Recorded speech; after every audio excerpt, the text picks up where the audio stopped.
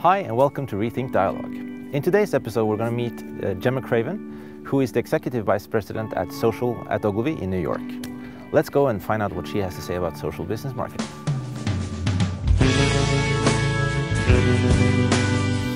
Hi, Gemma. Hi, Arnt. How are you? I'm good. How are you? Very good, thank you. Welcome to Norway. Thank you for inviting me to Norway. I'm very excited to be here. I had to. Finally. yes. Um, so um, we've known each other for a while, but Mhm. I know the viewers haven't the same um, knowledge as I Mhm. do. So, so tell me a little bit about yourself and your job. So um, I head up the New York uh, division of social at Ogilvy. Ogilvy, if you haven't heard of Ogilvy, is the world's think it's the world's largest It's the biggest. It is. Okay, the big O.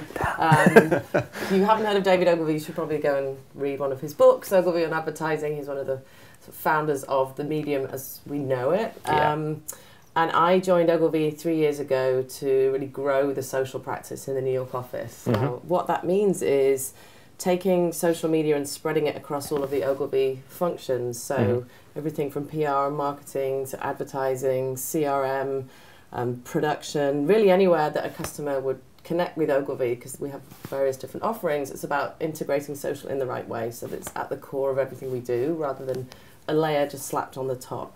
Cool. hmm Because Ogilvy was, I guess, as many others, a traditional agency. Yes. Um, interesting because I think we've been on a journey of transformation over the past sort of 12 Absolutely. to So- 18 months. So, from the outside point of view, Mm. absolutely. Yes. Yeah. And the, the social started with digital. Mm. Um, we did have a digital Ogilvy offering that is now, again, a part of everything we do. We don't have it as a separate um, standalone anymore. And Social at Ogilvy was founded in a similar way as to Hmm. infuse social media across the agency. I honestly think in two, one, two years, we might not even have it as a standalone practice, which Yeah. hopefully I'll have another role by then. But um, that's really the goal is to make it at the core of everything rather than it being an afterthought or um, you know, I really try and educate people on how social media works, Mhm. understanding how people engage with each other, sort of the, the science of, and practice of influence. Yeah. Because again, I think that's often missed, and it's a core part of, of the, the, the, the medium.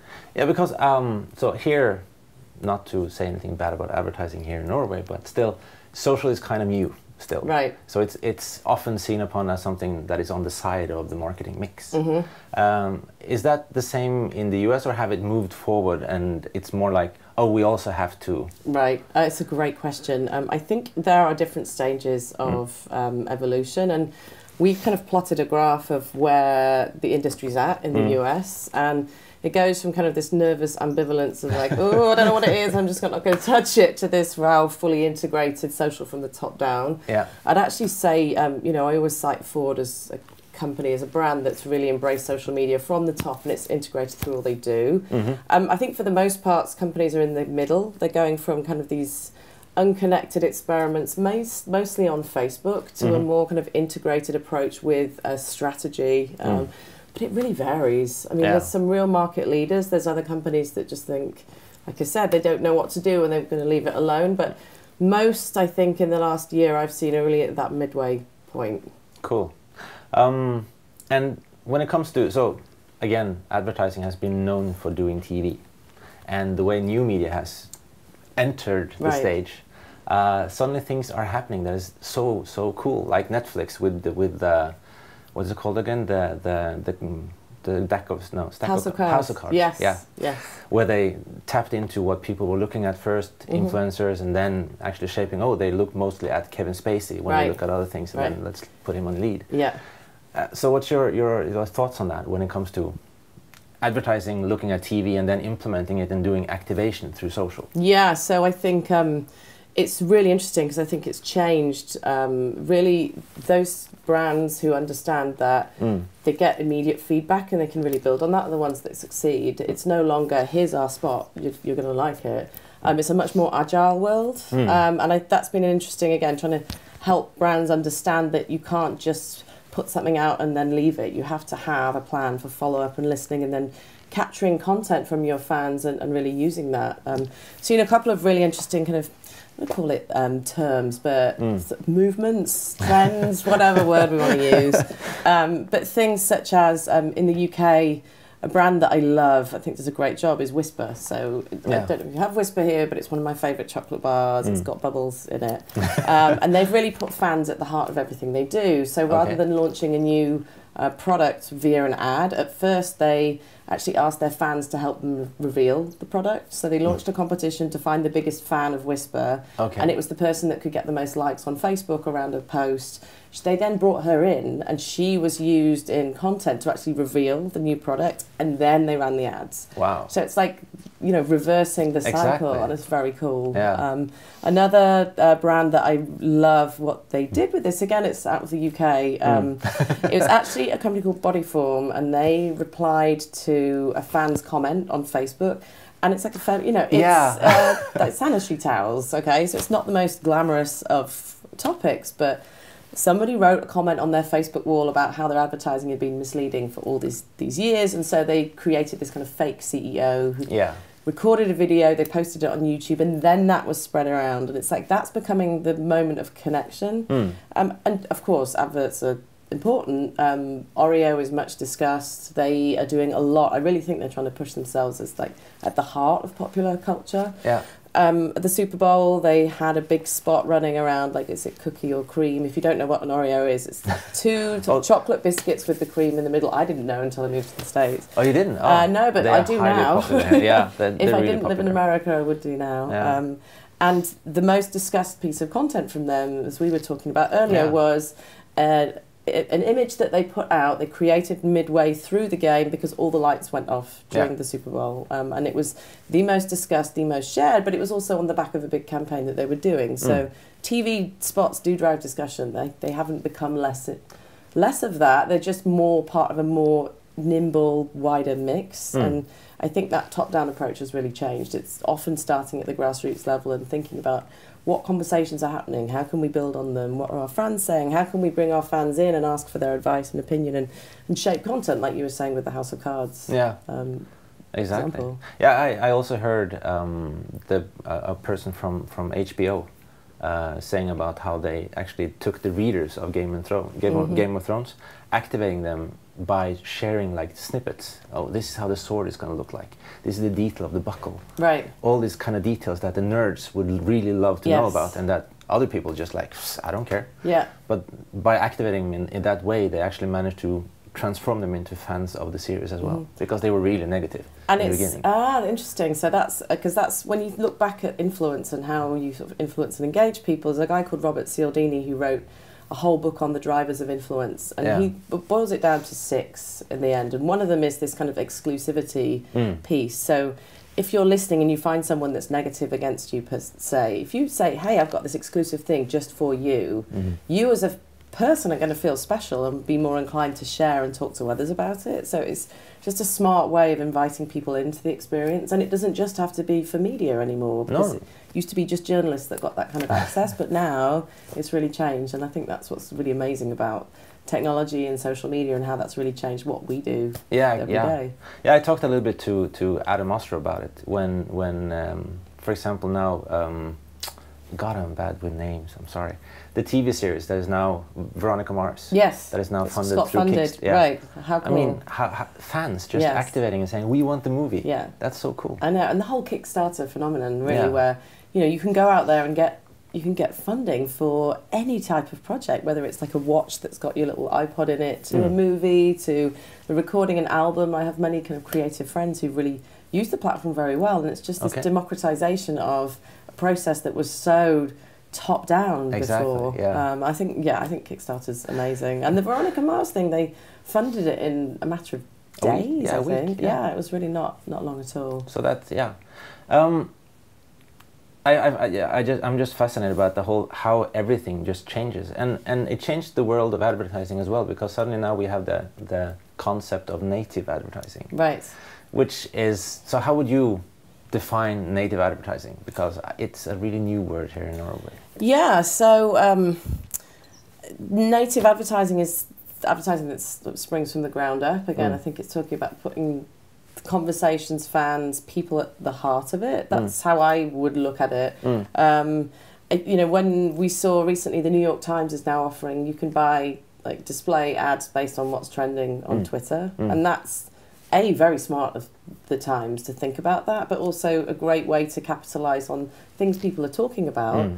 Um, so, say it was discussion around a sporting event, you could then buy ads based on like trending topics on Twitter. So Mm. it's like you're getting more effectiveness out of your ad dollar, Mm. um, and the Times as being more of a, a better partner to advertisers. So Mm. for me, I, you know, again, I, I think you're right. It's a new term across the board, but for me, it's more about the ads are no longer okay. This is it. We're going to pass it from the top. It's about how can we listen and involve people in advertising, and then grow content around around that. To Mm. put out as a unit. Mm. Um, and when when it comes to to let's bring it back to social bu- business Mhm. marketing, which it's a term that I'm passionate about. Right. Uh, so so how do you think companies now are gonna approach the whole thing about social business marketing? Mhm. Because we're talking about social media. It's, it's to many companies it's fluffy. Yes. It's really like oh we're gonna engage with our fans, but we cannot really right. cash in on it. hmm So how, how do you think that's going to evolve in the next months? Because we're talking about months. here. Yeah, no. Um, so I think it's it's it's like behavioural change Mm. basically for a business because it's not just about advertising and communications. It's about how your employees communicate with each other, how you innovate, Mm. um, how you protect your reputation. Yes, how you communicate externally. So Mm. I think you have to look at all of that Mm. spectrum and think about how social media can be used and should be used. So say you're a company with offices in Oslo, New York, and London, you can use tools like Yammer, Facebook, Twitter to allow your employees to connect with each other, and you Hmm. should encourage that. Mhm. Um, you can ask your fans, for example, about product innovation. You could maybe go, Starbucks does this really well. Like Yeah. my Starbucks idea, like ask them for their ideas and feedback, and then take that and use that to innovate and create new products. Um, in terms of corporate reputation, it's important to connect with those external audiences, but also to be listening for conversations that are happening about you, so Hmm. that you can participate in them rather than letting them happen. And there's crisis management, but there's also just general, you know, brand reputation. Mm. Um, and then what was the fourth one? I think you know. I, I think um, in terms of employees and what they expect, I think Mm. now employees expect to be able to connect with the CEO, um, whether they just ride the elevator with them or they can just follow them on Twitter and have this kind of one-on-one dialogue. So it's broken down a lot of silos, Yeah. um, and I just think taking a step back and thinking, like you said, it's not just a fluffy bit of marketing, but it's actually an intrinsic change in the way in which we as humans connect and communicate and just rather than trying to avoid it think Mm. about okay how can we embrace it and make it right for our company Mm. um, and our culture and how we communicate and connect internally and externally So how, what do you think about CEOs and says that no, we're not going to allow our, our employees to use Twitter and Facebook?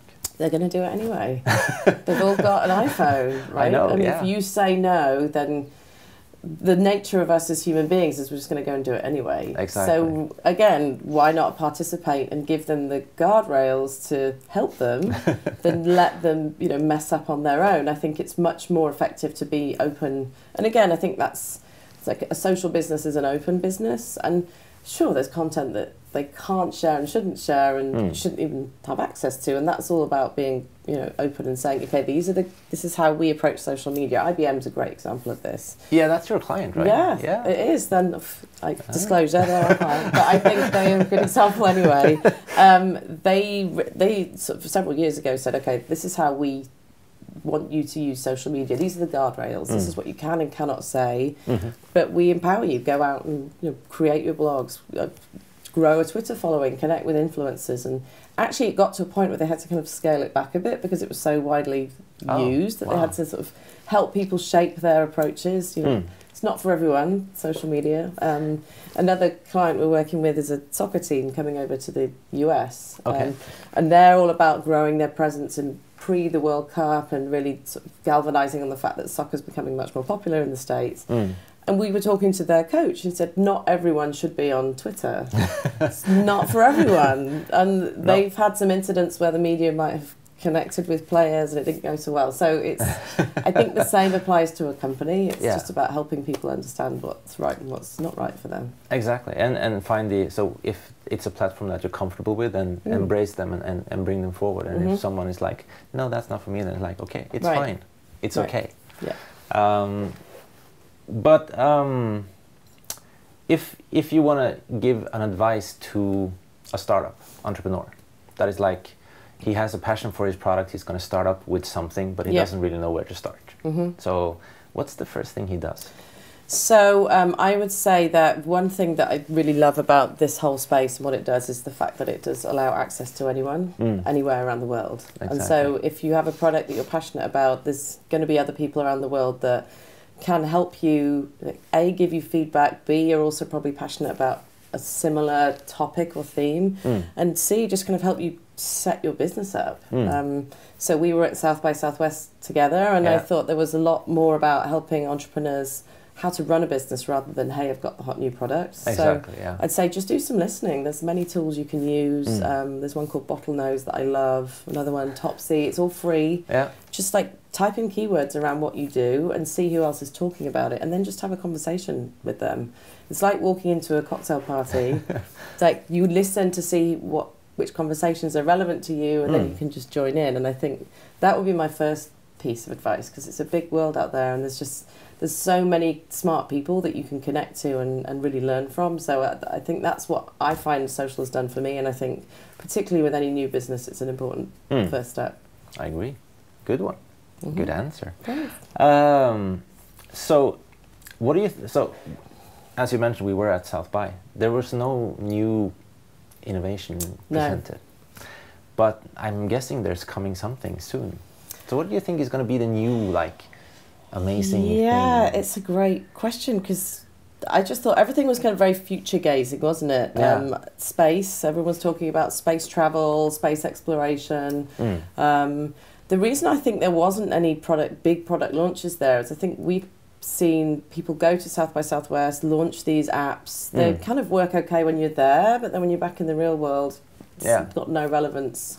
It happened with Highlight last year, which if you don't know what it is, it's an app that shows you people who are nearby to you who have similar likes. So oh, okay. it might say if we were walking down the street, oh, Arnt is nearby. He also likes Pepsi. Just hypothetical.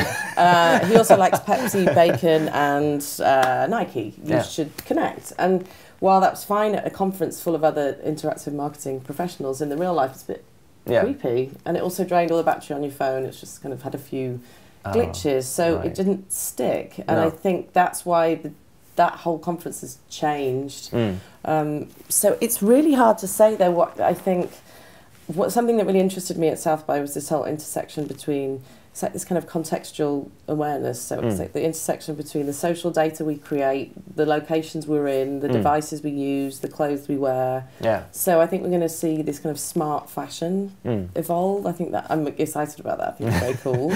so if you're an athlete, the top that you wear could log the the training that you've done and suggest food for you to eat, and then you could walk up to your fridge, which would also be a smart fridge, and the devices would talk to each other, and they'd say, Yeah. "Hey, you should eat this Arnt for lunch because you just did that," and like that, I think is a big Yeah. kind of thing that's happening. That's an awesome thing that I think big data is going to provide. Mhm. Uh, I was at this SOMO was presenting the machine to machine philosophy, and yeah, it's amazing. It that is. if it's used in the proper way. Right. Again, it could be creepy. exactly and i think So- that's the kind of fine line isn't it between Yeah. the robots are going to take over the world so actually no we can just make ourselves smarter and better and i think um, something like FuelBand yeah. is again it's a great example of taking data that we generate and making people kind of compete against each other so that they can get fitter and they're more healthy Mm. and that's I think really stuck.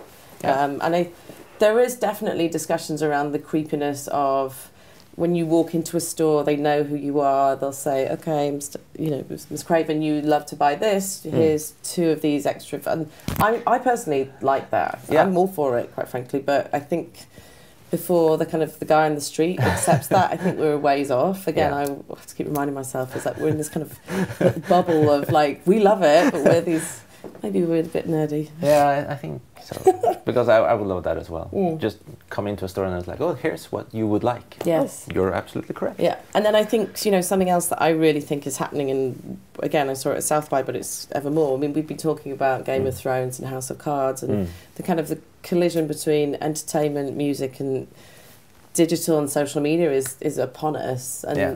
uh, Adam may have talked to you about the Mashable House at South by Southwest, and they had a house where they actually brought internet memes to life.